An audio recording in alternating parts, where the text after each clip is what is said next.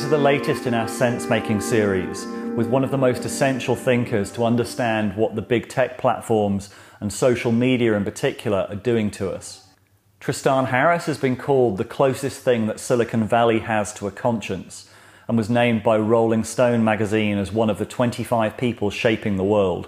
Until 2016, he worked at Google as a design ethicist until he became so concerned about the direction that the attention economy was going. Social media is distorting all of those signals, all of those heuristics, all of those vulnerabilities of the human mind at every single level. I think that the way to see this is that um, the, the technology has become the new 21st century infrastructure, but is more intimately embedded into our, our, our minds and our nervous systems. Since then, he's made it his mission to reconnect technology with human values through the Center for Humane Technology. In this conversation, we covered how the incentive structure of the attention economy was rewarding polarization and division. To get attention within that that sphere, I have to use outrage. So both sides, the left and the right, are using outrage to get people to get to get people's attention, and then that just further cleaves the kind of divide between I think it's 2011 and uh, 2018 between the left and the right. You just see it moving further and further apart the paradox of free speech in a world of finite attention. This is one of the most critical issues of our time, and we're, we're missing the philosophical distinctions we need. Uh, it's important to realize that free speech absolutism and, and just the, the valuing of free speech was, was valued philosophically by the founding fathers at a time when we had an abundance of attention. Um, we needed to make sure that people who um, wanted to speak wouldn't be silenced. But we never thought about is there a finite number of ears to hear everything? Or do we have a vast overabundance of information and speech compared to the finite number of ears that we have to hear? And how, if we really wanted to reverse this process, we'd need to recover the concept of consciousness or attention as being something sacred. If we really need to make new choices and put new choices on life's menu, then we need to be able to have a basis of attention, a basis of consciousness that allows us to do something different or new, to think something new that we weren't thinking before. And we have a system right now with social media that broadly narrows the space of human sense making and choice by reinforcing the old biases. Yes, those other people on the other side are still wrong. Yes, uh, you know those people over there still don't like me, or still I still need that attention from them. We're we're narrowing the human experience, and I the big question we're going to have is can we go back and treat this as something sacred? Tristan, thank you very much for joining me. Happy to be here, David. Great. This series is about sense making, and I think this is a really, really key part of sense making, understanding why we're often kind of all at sea and how, our, how we're being manipulated. Um, and you also have a lot of the same reference points uh, to us. We're friends with many of the same people. I'm sure viewers of the channel will be familiar with Daniel Schmachtenberger's work. Jordan Hall, Eric Weinstein. And I know that you agree with, with, with what we've been saying, what Daniel's been saying, that the sense making crisis is really central to understanding and dealing with any, any of the other problems that we've got. I'd like to start. Why do you think that the sense making crisis is central, or how would you frame it initially? Um, yeah, well, technology is has become the sense making instrument uh, for you know three billion people, and I think that's never been more true in a coronavirus era. Um, because with many of us stuck at home, we are peering through the glasses, the telescope of social media out there to understand what's happening in the world. Because we're not walking around in the world as much. You know, there's fewer journalists out there. Uh, we have a, ironically, due to social media's privatization of the attention sphere, um, they've actually hollowed out journalistic organizations, so there's fewer journalists actually going out there because it's less profitable to run local news organizations. So we are really left to, you know, this set of plat- these set of platforms to make sense of what's going on in the world.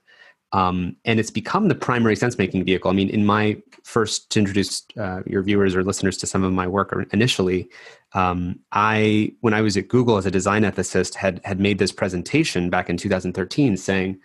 Never before in history have essentially 50 designers at three tech companies determined what 2 billion people's attention is going to be on a daily basis. And that we, as those technology designers, have a moral responsibility in holding the kind of collective consciousness carefully uh, because we don't have a choice. I mean, we, we can't not hold it. We can't just take our hand off the steering wheel and just let chaos rule. I mean, we are shaping 3 billion people's attention on a daily basis. so the question is, what do we do with that responsibility? And when you use algorithms, uh, automated programs, automated rules, like whatever gets the most clicks should go to the top of people's feeds, whatever gets the most likes or shares, those are three different ways to rank a news feed, but they are imprecise in what they're selecting for.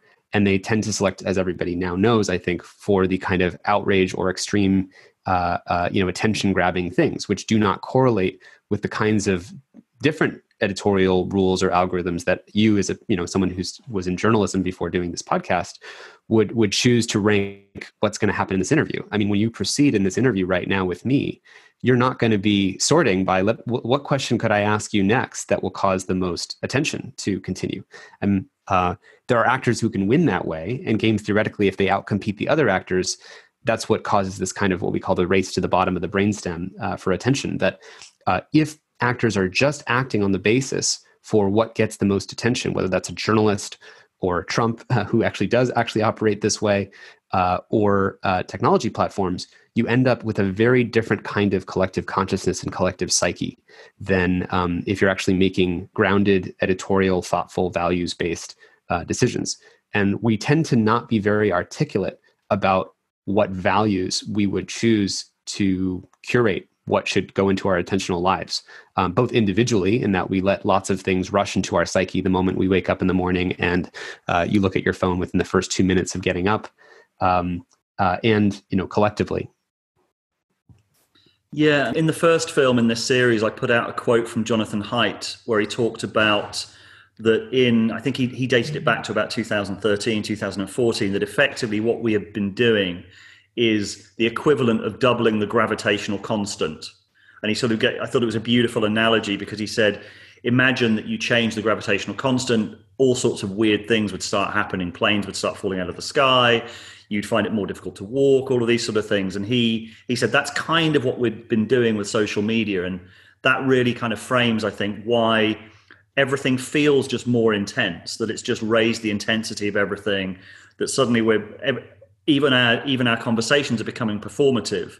We've got this mm-hmm. sort of sense of a hollowing out of the private sphere and this sort of sense of being disconnected from what we actually really think because we're we're now doing something because we think that's what other people will reward us for or everything starts to become this kind of weird i don't know hollowed out sort of sense um, do you find that a useful metaphor yeah, Jonathan uh, is a, is a friend, and we've had many conversations about this. I think his metaphor is exactly spot on. Um, we similarly use this metaphor of ergonomics, that there's kind of a, um, you know, imagine the world before the field of ergonomics. You know, you sit in a chair that's not ergonomic at all. And let's say we don't actually have a fine grained understanding of the geometry of the human back or the lumbar or, you know, uh, you know, the, you know, the, the right proportionality for what a chair should be for it to be comfortable for many hours a day if you're only in that chair for let's say 10 minutes a day you don't really need a of, a field of ergonomics as crucially or essentially as if you're in that chair for let's say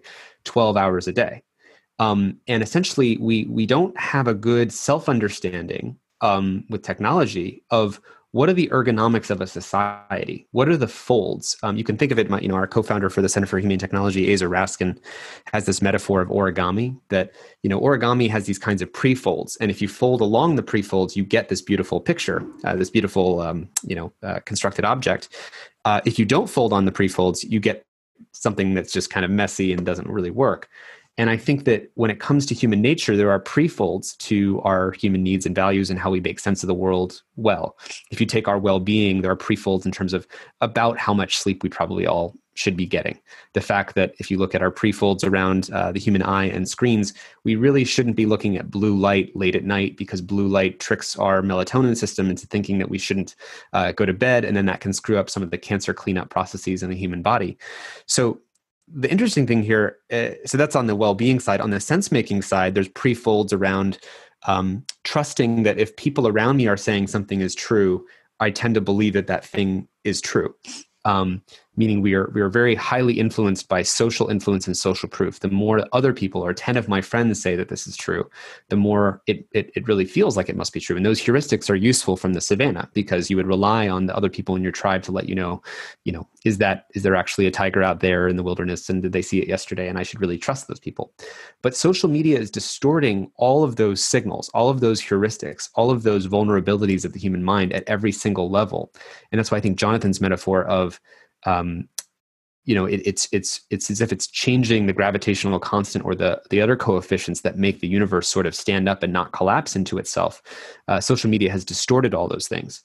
Um, i think that the way to see this is that um, the, the technology has become the new 21st century infrastructure but is more intimately embedded into our our, our minds and our nervous systems. Um, you know the cars and the railroads were not embedded into my nervous system in the same direct way. Um, and when the digital eats the physical, when the digital infrastructure eats the physical infrastructure, uh, it it takes over uh, the the basis from which we're you know making sense of the world, the way we're thinking, the way we're waking up in the morning, the way kids are developing, especially in a COVID era where kids are at home and they're actually using um, you know digital technology for for many more hours per day, and they don't actually have school. So we if we don't have a good understanding of what the fit is between technology, sort of as like a brain implant into a society, uh, then we're going to get that wrong. And you know if you're going to put a brain implant into a human being, you have FDA approval and a deep understanding for who's trained to put that brain implant into a human before you do such a critical operation that could scramble someone's brain. When you take social media and you to the implant into a society, there's no FDA approval. We've never run this experiment before, and the people who are doing it are 20 something year old, you know, tech uh, you know engineers who went to computer science schools and rarely have a deep understanding of history or the humanities or um, you know kind of Habermas or the kinds of things that make a society work well. And how would you? What would be the biggest sort of frame that you'd use? I know that that our, our mutual friend Daniel Schmachtenberger has talked about that on a kind of finite playing field with exponential tech, what you end up with is sort of uh, self-terminating dynamics and I, I, I guess my focus as a journalist and and having kind of moved into the alternative media space, I'm sort of seeing all of these failure conditions of the information space as being reflecting some dynamics that are common across many different systems. But I'm but I guess I'm seeing them more in the sort of sense of we're losing all sense of a shared reality. We're losing any sense of common purpose, which just seems like a fundamental problem. But but I guess it's like the source code we're seeing a sort of faulty source code being amplified by these sort of big tech platforms and the incentive structures pushing towards what certainly feel like self-terminating outcomes if we can't kind of get a grip on it. Yeah, I think I think the simplest thing for people to get, which is kind of obvious, but it's important just to double underline, is that polarization is profitable because it's more so because these platforms make money from people's attention. I mean, how much money have you paid for your Facebook account in the last, you know, few years? Um, you know, zero, and yet you know the stock price is north of six hundred billion dollars. And the reason for that isn't just that they quote unquote have your data, it's that they actually need your attention. And there's only so much. I think one of the things that we'll hopefully get to later in this conversation is, you know, the attention economy is a finite um, uh, playing field. It's a finite environment. It's a finite set of resources. Um, and we're not going to grow the size of the attention economy. Although there has been some gains in the fact that once you get people multitasking and paying attention to two things at once, you've technically doubled the size of the uh, extractable attention economy.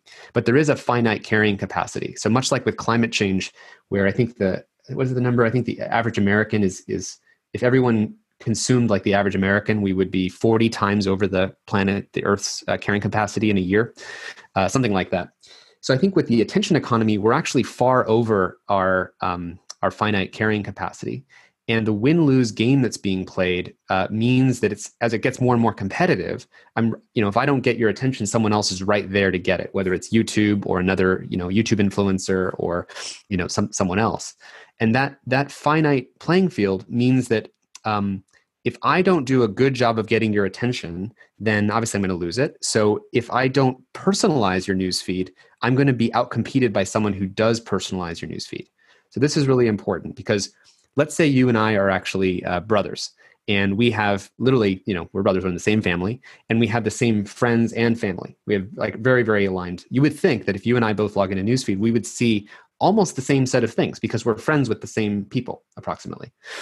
Um, but that's not how it works at all. Because if I go into your newsfeed and you're a fan of cute, you know, animals, and I'm a fan of deep thinking existential risk uh, videos, we're going to see completely different news feeds, even though we actually have the same basis of quote unquote friends. That's an unprecedented situation. Um, you know, it's often the case that people who live in the same space have the same friends. Uh, you know, uh, have have had that, but their their attentional sense making environments are totally different. So, in other words, a, a Facebook newsfeed that is personalizing you with affirmation, not information, is going to outcompete a newsfeed that's giving you a broad spectrum of information, which means that things will cleave along the lines of partisan divides, and that's exactly what's happened. Uh, Zach Stein, another one of our you know friends in our community, uh, in Daniel and Jordan's community, has sort of said this is almost like a social psychotic break that we've actually kind of fractured the newsphere into uh, at least especially in kind of the West, um, a left a left kind of oriented uh, sphere of information and a right sphere of information, which of course pre- preceded uh, social media in the form of you know Fox News or uh, you know the uh, what is it the Murdoch family uh, of properties. Um, but but it's now gotten worse because now within that to get attention within that that sphere i have to use outrage so both sides the left and the right are using outrage to get people to get to get people's attention and then that just further cleaves the kind of divides. And if you look at these graphs of polarization in the United States between, I think it's 2011 and uh, 2018, between the left and the right, you just see it moving further and further apart. Um, there could be an argument that, uh, you know, that's just Fox News versus the MSNBCs of the world. Um, but that's and that social media is not involved. But I really don't think that's true. If you think about the number of t- times now that that even television-based news is actually referring to social media as the basis for what they put on air, it's really important to see that social media has become central to the sense making of of everyone, including the media. And then the feedback loop. One one last thing that uh, there is between, in this case, Trump and Fox News, that he gets his own information from social media and from Fox, and then Fox, you know, sort of cycles it back to him. So there's this sort of inmates are running the asylum kind of effect that has really uh, driven the world insane. Yeah, and another good frame that I that I was very persuaded by was Jordan Hall, where he talked about that human beings are obligate tribal. That our, our kind of secret power is that we we band together in tribes and tribes of different temperaments. And Jonathan Haidt talks about how a lot of our political views are actually kind of temperamental biases. So what we've done with social media is we've created these kind of um, tribalization into different temperamental camps, largely, which Jordan talked about as being a kind of extinctionary, potentially an extinctionary thing. And that that really that really landed with with me the sense that we're kind of basically splitting into these different parts, um, and we're breaking whatever it was that made us essentially human, essentially sort of um, effective.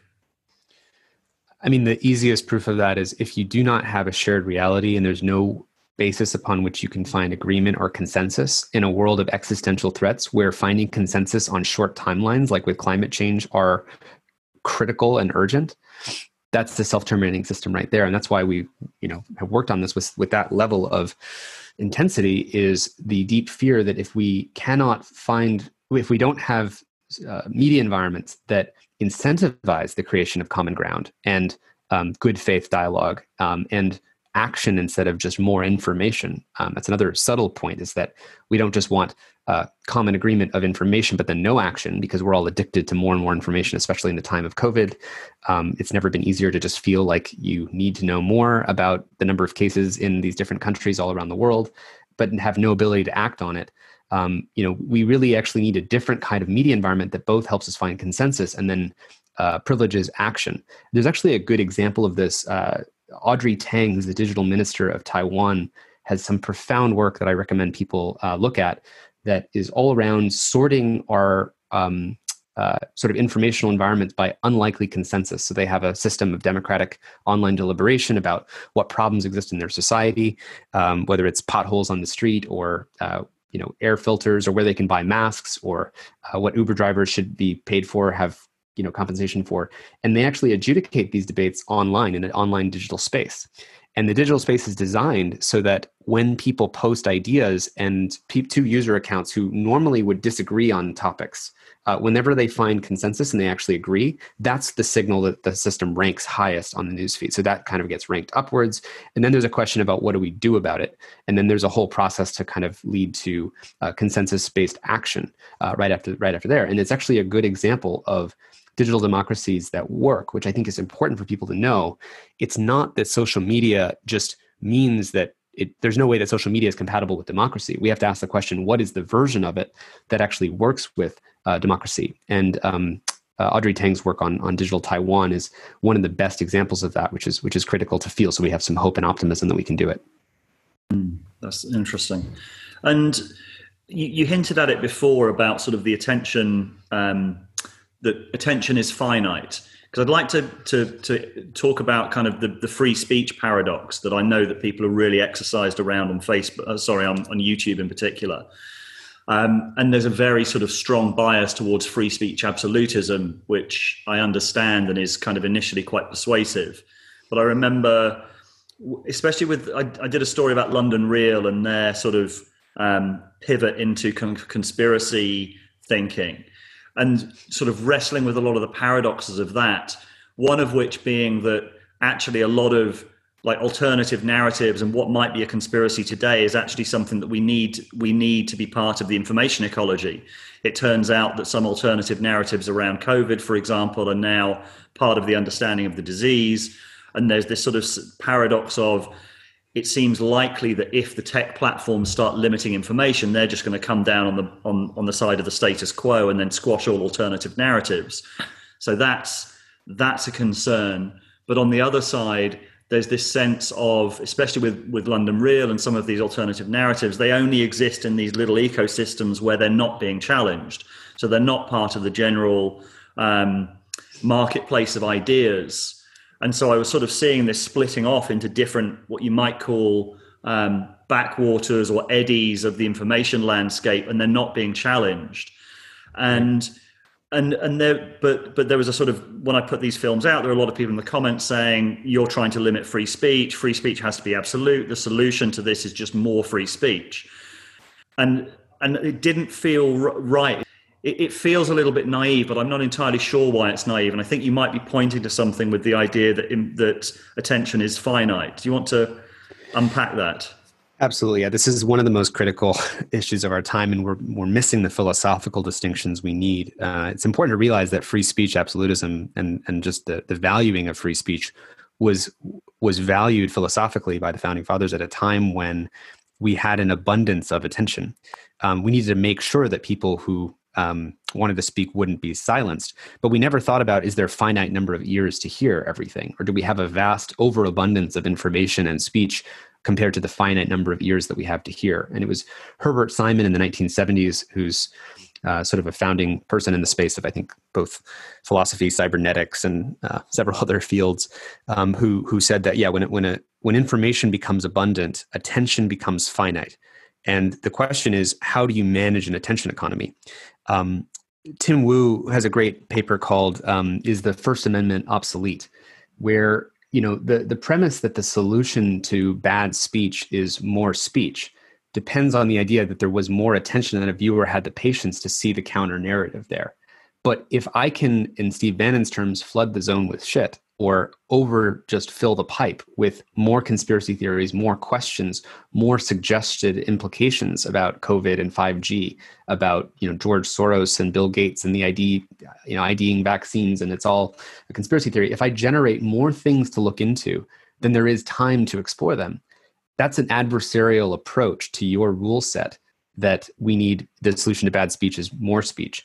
And this is exactly the way that we've seen bad actors uh, you know use these platforms. Um, you know when we worked uh, back in 2016 uh, met with senator mark warner and was involved a little bit in the first social media investigations on, on what russia did in the 2016 elections. And one of my colleagues renee diresta uh, got full access to that data set. The the the approach there is always to try to make powerful suggestions that make people doubt um, legitimacy of of you know their institutions and and what's kind of going on around them and if i can offer more and more suggestions that link whether it's Seth Rich and the DNC and something that happened there, um, or you know, the more the more of these suggestions I can make, uh, the more I can pollute the information ecology, and the more things I've created for those for others to do research about. So this is just not a viable approach. And then the other side of it, as you've said, is who do we trust to adjudicate what should and shouldn't be amplified or set. And so this is actually the fundamental challenge of our times because one of the ironies here is that social media has had an accelerating effect on the delegitimization of our um, sense making institutions. You know, do you trust or want the Trump administration deciding, you know, what should get amplified through regulating Facebook as a national utility? Um, probably not. Do you trust the WHO to be the best authoritative source of information on the coronavirus when, you know, they gave conflicting advice, as I think you've covered well in your podcast? Probably not.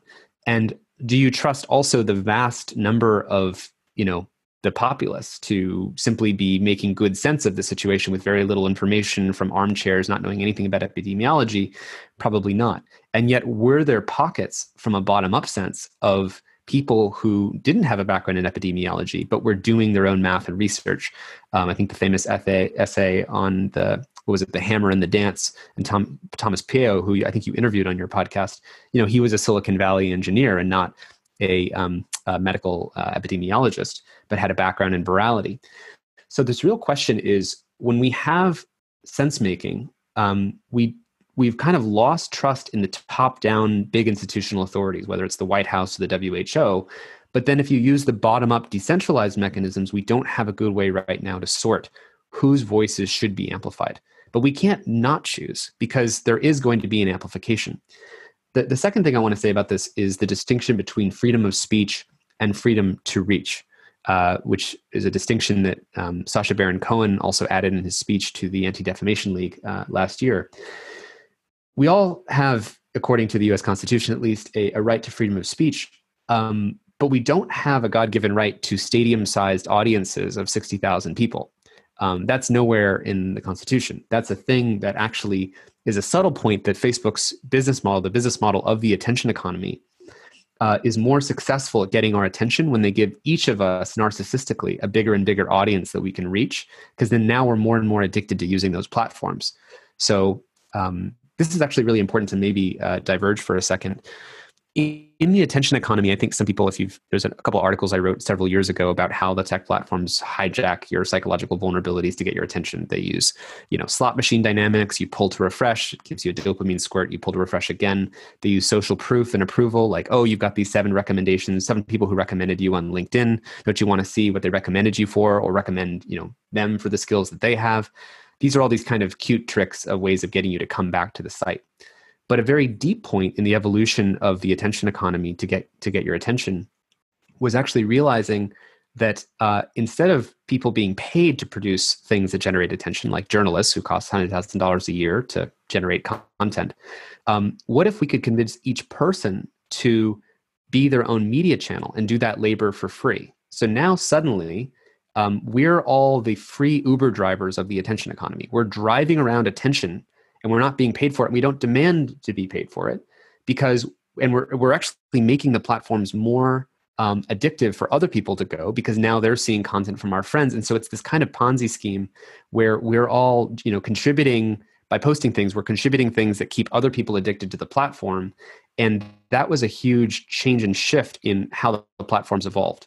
Um, and then YouTube and Twitter are competing, or TikTok are competing on what degree of influence we are able to command of these vast audiences. In fact, there's examples of platforms like TikTok um, kind of tricking users into making you think that the number of uh, likes you got was actually that the number of views you got. So, kind of inflating the numbers to make it feel like, oh, I'm really influencing this many thousands of people. And the, the more that those numbers go up and the more it can make us feel like we're influencing bigger and bigger pools of people, uh, the more addicted to the platforms we become. But again, none of us were uh, uh, granted some kind of God given right to reach hundreds of thousands of people. And in fact, it's dangerous to reach hundreds of thousands of people if there's no ethics or no control or no notion of what is a uh, uh an ethical, decent, uh, responsible way to contribute to the information environment. And like you're saying, when you have lots and lots of media channels simply just providing conspiracy theories because it's a good way of getting attention. I mean, can you imagine, um, you know, a media channel bigger than the BBC uh, in terms of reach, just spouting conspiracy theories and hatred and trying to drive up, you know, racism in society? Well, that's essentially what, let's say, Alex Jones was. Alex Jones was recommended by YouTube 15 billion times. Alex Jones, the InfoWars uh, conspiracy theorist. Um, so YouTube recommended his conspiracy theories 15 billion times, which is more than uh, the combined traffic of you know the BBC, Washington Post, New York Times, Fox News combined. And if, so, if you ask yourself, like, we're granting the power of the the sort of narrative exponential broadcasting powers, uh, in, in Daniel Schmachtenberger's terms, but we don't provide or, or, require any of the kind of wisdom that would go with exponential broadcasting powers, um, any of the media training, any of the the notion of, for example, in, in media ethics, uh, people learn in, when you're reporting on suicide or reporting on a shooting, you don't publish the photo of a shooter or the name of a shooter because it actually inspires more shooters to do the same thing. Or you publish something on suicide, you don't publish the mechanisms of suicide because we know that it inspires other people to commit suicide. The best data on this was with Robin Williams, I believe, when he committed suicide, that we actually saw an in- increase in it inspiring many more uh, suicides very clearly. But any of those rules that have been hard won lessons for people in journalism and media ethics, those go out the window when you suddenly have legions of you know thousands and thousands of teenagers with instagram accounts that reach 15000 people each and they're raking in 5000 bucks a month 10000 bucks a month you know uh, spouting whatever it is that they want to say. This is the problem. We have totally deregulated the information environment and information ecology where garbage wins unfortunately. And while there are what's so tricky about this for everyone is that while there's there's certain examples where this yields such amazing benefits. I mean, I would say the things I've learned from your channel and the people that are in the network and the Rebel Wisdom sort of network, and you know, how would I've ever discovered these people were it not for a bottom up way where you could, you know, reach five hundred thousand subscribers or whatever it is that you've got now. Not quite, no, but um, yeah, there's there's so many issues that come up listening to you. One of which is that even combating this gets pulled into the polarization and the political spiral as well.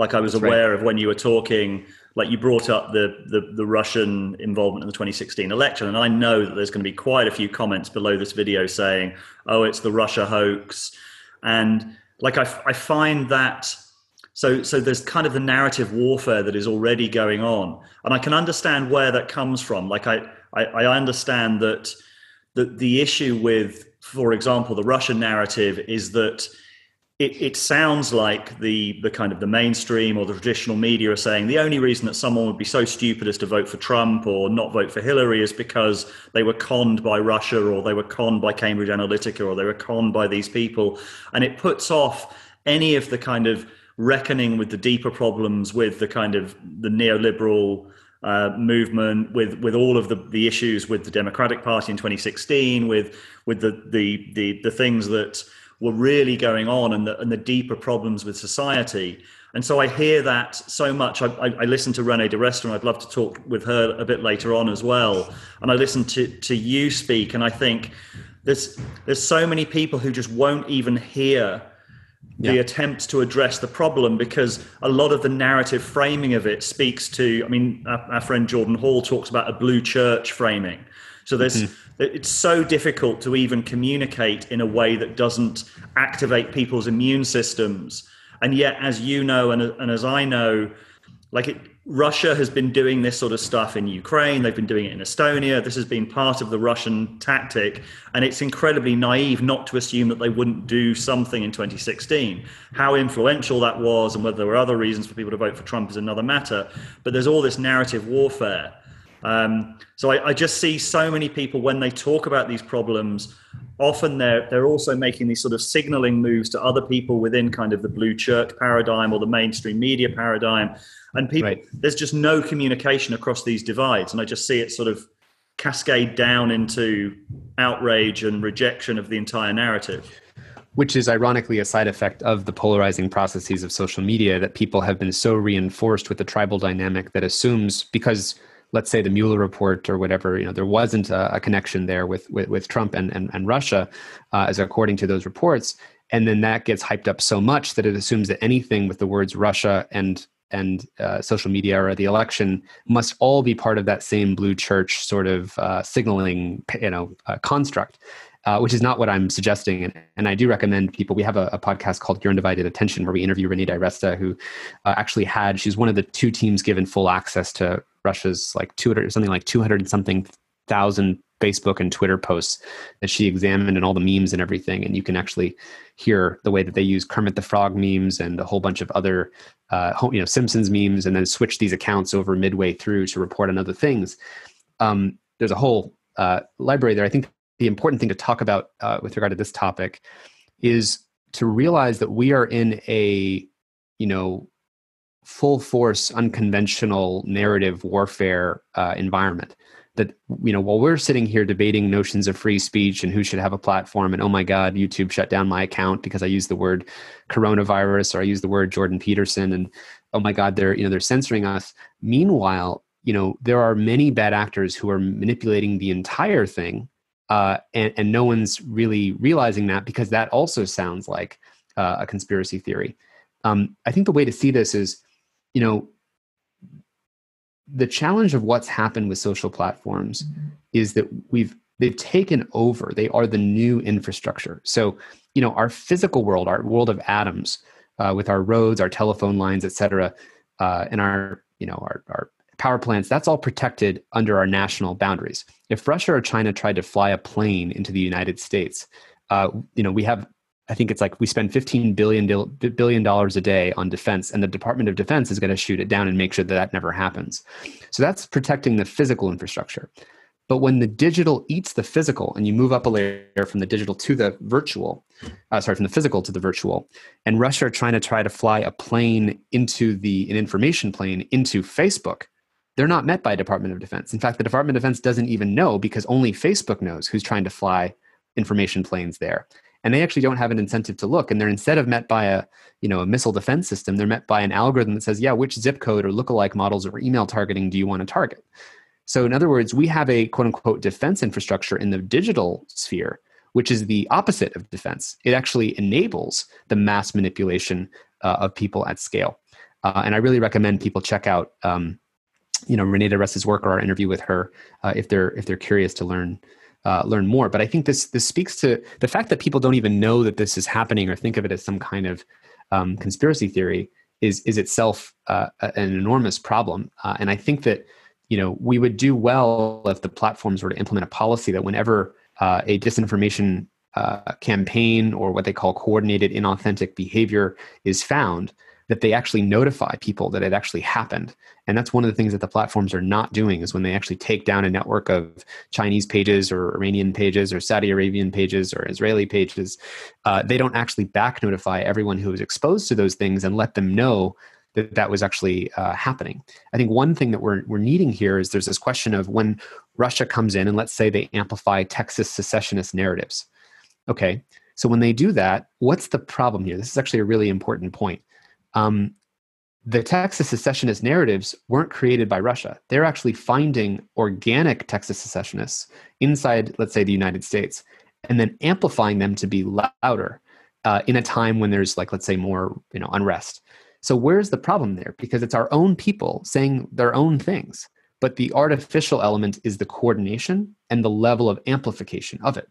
And then there might be a bunch of people who agree with that Texas secessionist when they actually amplify it at the right time. You say, like, yeah, we should really have Texas just secede from the United States. Or, yeah, we should have Civil War II in these Boogaloo groups. And for those who don't know, 64% of the extremist groups that people joined on Facebook's were due to Facebook's own recommendation algorithm, meaning it, they were actually recommending uh, these groups that people joined. And it actually led recently, in the case of these Boogaloo uh, Boys Civil War II groups, to a, a, a federal officer getting killed, getting murdered um, by two Boogaloo Boys who had met on Facebook and coordinated the attack. So this is having life and death consequences in the real world. But all that's just to say that, uh, you know, I think we have a massive information war going on. And we don't think of the geopolitical contest between the US and the West and China and Russia as as occurring yet. We think of we're in some kind of stalemate or a Cold War, but it's not the case at all. Uh, we have no digital borders. While we've been so you know paranoid about our physical borders and building the wall, we've left the digital borders wide open, uh, and the United States is actually not protecting its infrastructure very well at all. And I, I wonder if you have any thoughts about what what can be done about this sort of spiral. I'd, I'd like to throw in an, an, an example that I think I think I, I, don't know whether it's so it's so well known in America about the creation of the BBC, because in the 1920s we we had these new technologies. We had radio, we had television, and this sort of sense that um, these were fa- vastly more powerful technologies than the written word. And the BBC was created in the UK as a way, it was sort of at an arm's length from government, sort of renewed every 10 years um, to, to manage these new technologies because there was a fear that the, there was a, a, level of coordination that was possible, there was a level of propaganda that was possible with them that hadn't been possible before. And I think you then saw in the 1930s in Germany what could happen if they were used for propaganda. So, in a, in a way, that was a very far sighted um, realization to, that some kind of organization needed to be created. And I think yep. the BBC kind of worked pretty well up until fairly recently. And I think a lot of people have criticisms of the BBC, like for, for groupthink and the, the commercial pressures on it as well, I think have led to something of a race to the bottom for them as much as for anyone else. But there was at least some sense of there has to be some some civic space or some sense of truth that is not subject to corporate pressures. So the BBC still doesn't doesn't take advertising. It still has has a, a real reputation around the world. And from the beginning of the COVID crisis, actually the, the value of the BBC, the amount of trust that people had in the BBC has gone up massively since the beginning of COVID. So mm. it's sort of this sense of once there is a crisis, people do tend to, no matter what they say about kind of the BBC when they're not in a time of crisis. When there is a time of crisis, that's where they go to to look for truth. But but when I think about some kind of parallel process with social media, the fact that they're corporate actors, the fact that they're they're subject to those incentive systems, I can't imagine a process that that you might be able to go through to create that kind of um, yeah create that kind of structure. But but it is it is a similar parallel in a way, a sort of historical historical analogy at least. Absolutely, yeah. We we make this this metaphor link uh, all the time, and again, I recommend for people Tim Wu's book, The Attention Merchants, which goes through the history of the um, you know the, those who were selling attention and the commodity of attention as a as a product, and the importance of the BBC is saying that there needs to be a kind of civic or social um, uh, broadcasting space that is guided by the public interest for the public uh, interest, not for private interests.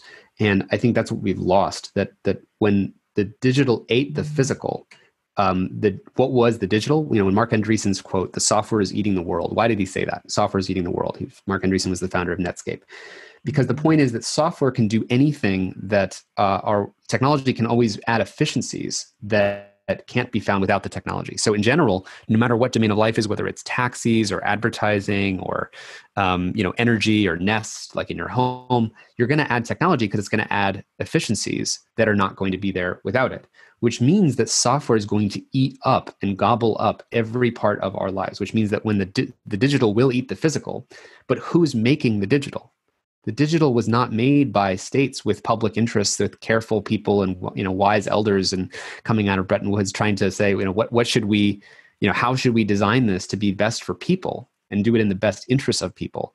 The digital became uh, what a handful of you know, literally like five major us based tech platforms and a couple in china uh, that have ate the physical infrastructure uh, and that that is the uh, when and when that happens, the private interests eat the public interests, and that's the problem. So the question is, how do you get back to a publicly interested um, kind of BBC public broadcasting type model, but more of a public social media? Um, what does public interest social media look like?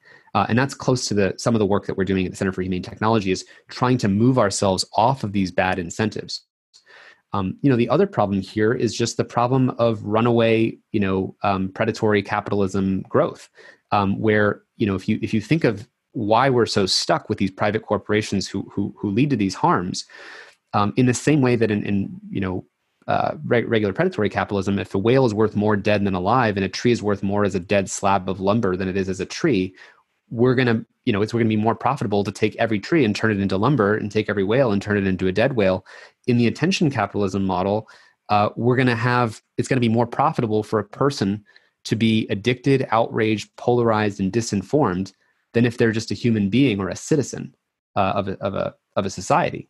Um, because I, I think of, you know, we talked about consciousness as we were starting this interview and the link between consciousness and attention. And I think of the way that these platforms harvest attention as almost like the dead lumber, these dead slabs of attention of, of consciousness that we're mining and commodifying into sort of passivity, uh, addiction, loneliness. We haven't talked about the many other social harms that are emerging here the harms of teenagers, teenage girls, uh, the rising of teen suicides and depression and isolation because of the way that we've hooked up an entire generation to variable social approval and reinforcement, for, um, uh, where your identity is reinforced when you look different than you actually do.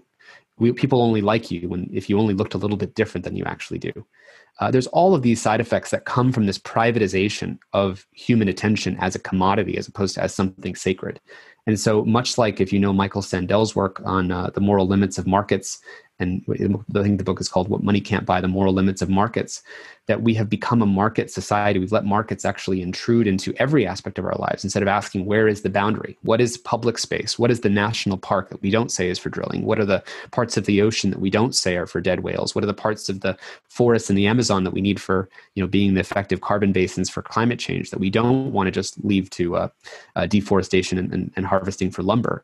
And that's kind of the bigger question here is when the digital eats the physical, we have private interests, runaway private interests, uh, eat the public interest. Uh, now, that's not saying let's dismantle all of capitalism. That's just saying where is the boundary between you know making sure we have a sustainable, non-self-terminating civilization. And I think those questions are far more important than hey, did YouTube flag my video and maybe that one video got demonetized? Like we're talking about whether the collective psyche can make sense of the world in an accurate way and find consensus based decision making mechanisms like at a very fast time scale in the case of some of the problems that we're facing. You you mentioned i think in the conversation with with tim ferriss that we we've tied business success to capturing human beings and that addiction is is basically the model that we're ru- running on at the moment. Can you can you just unpack that? Yeah i mean um you know an addicted user is you, spends more attention on a product than a non-addicted user. And so much like what happened there's a great book called salt sugar fat about you know the food industry. And they talk about stomach share. It's the same thing. I've got a finite rivalrous race for the finite amount of hunger that someone's going to have in their life. Well how do i you know get more uh, profits? I need to grow the base of people buying the food that i'm creating. Well i need to turn people into wanting more food than they actually have room for in their stomachs. I need to double the size of the stomach share economy.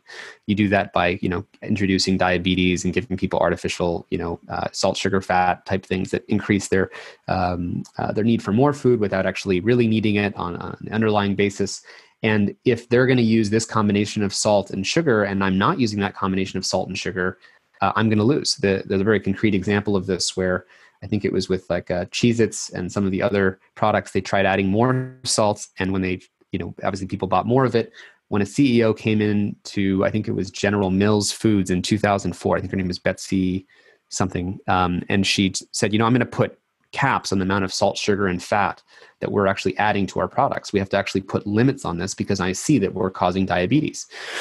And they did that and then within a quarter later their their you know revenue started to drop a little bit and they're on the call with investors in wall street and they said why is your revenue dropping? And they talk about the caps on the foods and they kick out the ceo they remove the limits on salt sugar fat and get back to business as usual.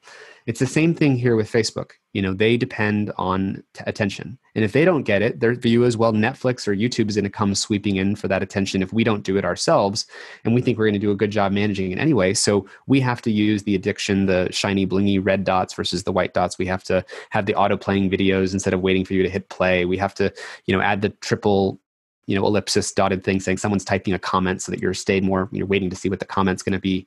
You know these are all tricks to keep your attention. And if they don't do those things if i start pulling back from that race i'm just going to get outcompeted by the guys who do do it. In this case that might be a chinese company like tiktok. So it actually becomes a geopolitical contest for it's not just if i don't do it the other guy will. If i don't do it maybe china will. And the, the future of the internet is going to become you know the china tiktok internet.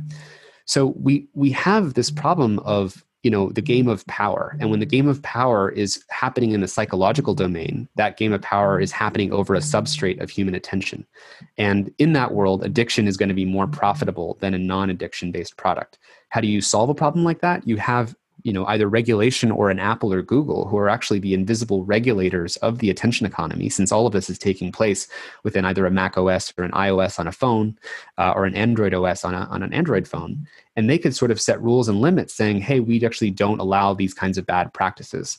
Um, they can actually act as top-down regulators. And that's where you saw you know a couple years ago them adopting time well spent which was some of the frameworks that we had laid out uh, it's a very minimal uh, adoption of, of some of the much more expressive and, and long-term um, protopian kind of ideas of what uh, an economy would look like where technology is competing to help us spend our time well instead of competing for capturing our attention. But you know the minimal thing that they've got there is things like uh, limits on how much screen time they have and showing you how many times you picked up your phone and the charts and graphs and all that stuff.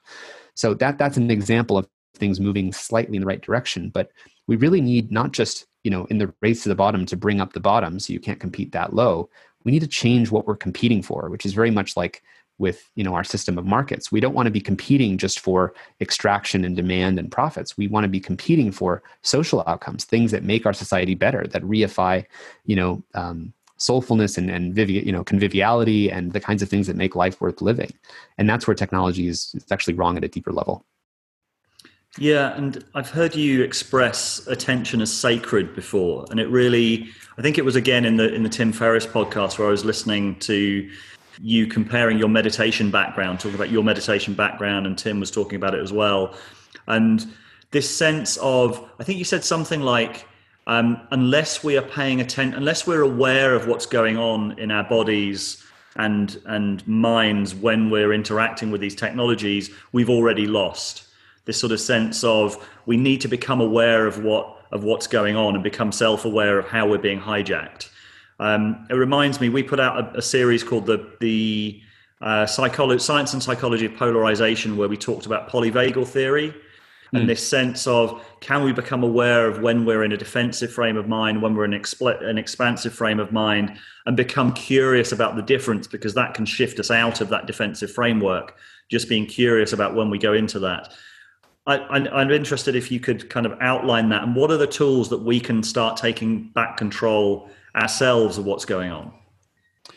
Yeah, there's so much in this area. It's, it's so rich because we're talking about human consciousness at the end of the day here and free will. Um, I think any place where we're being hijacked and don't know it and don't see it or don't name it or witness it is a place where we've lost choice. So if I am being hijacked outrage and I'm I see someone make a comment about you know the Black Lives Matter protests and I'm just eager to jump in and get you know if that's happening through outrage it's happening through an automated process because I'm not choosing that outrage. That outrage happens and comes over me um, in the same way that you know if I'm um, in, in, any case of uh, sort of so using technology and social media if I don't see that something has actually happened then I'm actually being taken over by by a process. Um, and and you know, Yuval Harari and I, who've done a couple talks together, um, you know, he's the author of, of *Sapiens*, and we talk about the problem is is when technology knows us better than we know ourselves. And if you don't know yourself as well as the technology does, um, you're going to lose. So it's this kind of race. You know, when you're a kid, you know, he makes this metaphor of um, you know when you're when you're a kid your your mother might know something about your needs better than you might know about yourself and they you know take appropriate actions based on that. But the mother knowing that thing about you is not trying to manipulate you uh, into profit maximization for her benefit right? She's generally thinking about what's good for you know what kind of food is good for you. Just not going to think about well i'm going to feed you the cheez-its because i'll make more money from this cheez-its company that's going to pay me if i give you the cheez-its. If i take a moment and zoom back out um, what this is really about in the relationship between a human being and technology is an asymmetry of power, where the technology knows something about you that you may not know about yourself, or it's acting based on that. The question is, what is its motive when it has that asymmetric power? If its motive is profit maximization, that's like, you know, if you imagine other situations in human life where we have asymmetric power. So you walk into a doctor's office, the doctor has a lot more knowledge about medicine and you're going to share lots of personal information about your case because you want to get most helped by that person. The more you share, the more they can help you. So you don't want it to be like, I need to protect the value of privacy when I walk in the doctor's office. I want them to know the most about my case so they can help me the most. But if that doctor made money just by maximizing whatever they could say that would get me to, to say yes to the most expensive surgery or take the most drugs or whatever, that's going to be a very problematic situation, which is why doctors have this fiduciary obligation to care for you know your you know to do no harm the hippocratic oath and to care about you know essentially your your best interests. Same thing with a lawyer. You know a lawyer has massive asymmetric understanding of you know the law and so when you share with them all your information they better be using that to your best interest not just selling it to you know the other side. If they pay them enough then they'll make more money. Like they can't they can't be in that kind of relationship. With technology we are sharing lots of information with these systems so they can build a better and better predictive model about us and know something about us that we may not know ourselves. Uh, Yuval Harari says in the interview we did together that you know he's gay, and you know when he was 13, did he know he was gay? No. Do you think that a computer would be able to predict that he was gay based on his click patterns and whether they show him a coca-cola ad with you know a, a attractive male versus an attractive female they would know that about him earlier than he, they would, he would know that about himself. And the question is what do they do with that information? If they're in a asymmetric relationship and then they're just going to profit off the most you know the, the whatever gives them the most money that's going to be uh, the problem. And so we like to say that we've misclassed the relationship with technology as being in an equal or symmetric uh, relationship. We've pretended, like a magician does, that I'm just saying to you, hey, pick a card, any card, meaning this is a deck, I'm a person, you're a person, I'm just giving you a neutral choice here to pick whatever you want. It appears like, you know, it's, it's, masquerading as a symmetric or equal um, a choice making environment. When in fact, in this case, the magician actually has all this information based on their knowledge of psychology of exactly what they're going to get you to do to pick the thing they want. The same thing is true of technology. It makes the illusion that it's just a mirror being held up to society, saying, hey, you picked your friends, you picked the links you clicked on. So if you're getting white nationalists coming out the other end and killing people, that's just reflection of your own society. But they've actually stacked the deck upstream where they know the kinds of things that will get you to keep clicking. So the, the issue is that we don't have a, a caring or fiduciary relationship with technology, and that's what we, we need. Uh, sometimes use the metaphor that um, you know, using Facebook is like walking into a, a, confession booth with a priest, except the priest is listening to 2 billion people's confessions and not just the stuff you share consciously, but the invisible stuff that you don't know that you're sharing through your eye movements and your micro expressions and things like that. And they have a supercomputer next, next to them that's calculating based on all the confessions that anyone's ever made when they walked into the confession booth, what confession you're about to make before you know you're going to make it and then they use all that information not to help you the most but to actually sell it to advertisers.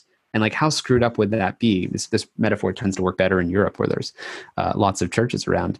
Um, you know how screwed up would it be to have that amount of asymmetric information be uh, used for private interest? And that's the problem that we have to solve. We need to make sure that that fiduciary obligation is, is actually acting in the best interest of people in society I find the framing around the sacredness of attention really, really powerful. I'm also struck by the fact that a lot of people who thought most deeply about this, you mentioned Yuval Noah Harari, Sam Harris also has a meditation app, yourself, lots of people have, have, have really been paying attention to the contents of their own minds and they're very, they're very um, well practiced in meditation. They're very well practiced in the, in the focus of attention. And I find that really an interesting, an interesting idea. And I, I, I get the sense that it's only by somehow mainstreaming the idea of attention as something sacred and of human connection as something sacred that we might be able to kind of change the narrative around this.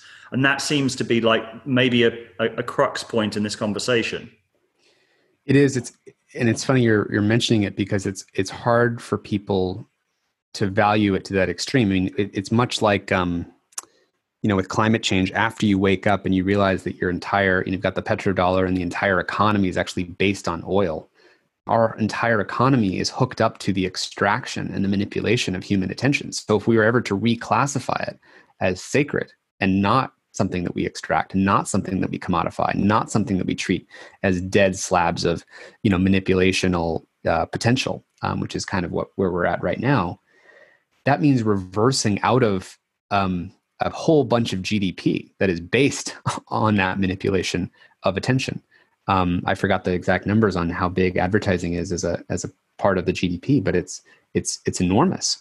Um, you know, surveillance capitalism, which is the theme that's undergirding everything we've been talking about, the greater and greater prediction of human behavior based on the manipulation of these subtle characteristics and creating slight changes to your your, your you know behavior, your uh, minds, your biases and beliefs that that economy is where a lot of the growth in the stock market has come from So um, that doesn't change the fact that attention is sacred because it's the foundation of choice.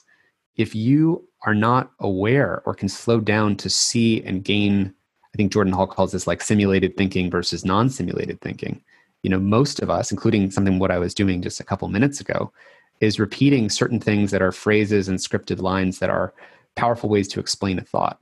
Um, I'm aware that I'm doing that, but um, if we really need to make new choices and put new choices on life's menu, then we need to be able to have a basis of attention, a basis of consciousness that allows us to do something different or new, to think something new that we weren't thinking before. And we have a system right now with social media that broadly narrows the space of human sense making and choice by reinforcing the old biases. Yes, those other people on the other side are still wrong. Yes, uh, you know those people over there still don't like me, or still I still need that attention from them. We're we're narrowing the human experience, and I the big question we're going to have is, can we go back and treat this as something sacred? Um, you know, and I think of it like the birth of the EPA and the Environmental Protection Agency, the birth of the National Park Service, you know, in the U.S. Can we have a attention protection agency? Uh, Andrew Yang um, in his presidential platform actually called for a department of the attention economy and even uh, at the time mentioned me by name as you know running something like that to uh, get into a conversation about how do we treat attention especially of younger people the young the young youthful parts of the attention economy that are the future generations whose sense making needs to be uh, you know uh, grounded and, and informed and, and, and powerful uh, for the future of national security and national competitiveness um, we need to protect attention and, and treat it as sacred and you know, that's part of the work that we're we're trying to do. Yeah, thank you, Tristan. It's it's interesting. I mean, I I was quite familiar with this conversation, but it was only actually listening to a few of your kind of intensively to your your your podcast, especially with Tim Ferriss, that I really made the link between meditation, consciousness, and attention, and and it just just really made, made clear the sacredness of, of, of that. So I think, um, yeah, I think that that seems to be the crux point. So I'm I'm really hoping that you continue with your work and manage to to mainstream this idea of attention as sacred because I think it's it's so important. We do need to mention it more often. Thank you for the reminder of that. It's, it tends to be one of those points that um, sounds more fluffy. You know, it sounds just like woo woo blah blah. You know, attention is sacred. Uh, you don't really realize it, I think, until you've you know seen the degree to which our minds are hijacked by the default mode network and constantly looping in especially in corona times uh, the kind of uh, amplification of lower level automated processes and anxieties as opposed to genuine new calm you know choices so great thank you very much for joining me tristan and i hope we stay in touch likewise david thanks good to, good to see you here Rebel Wisdom was set up to make sense of the world at a deeper level than the mainstream media. It was built for these times of crisis and change, which is why we want to do what we can to meet the challenge of the times. More films, and also for our Rebel Wisdom members, weekly sense making calls with our amazing interviewees. And also, we're introducing the Wisdom Gym, a place to practice some of the skills that we've talked about on the channel. Thanks for watching and see you soon.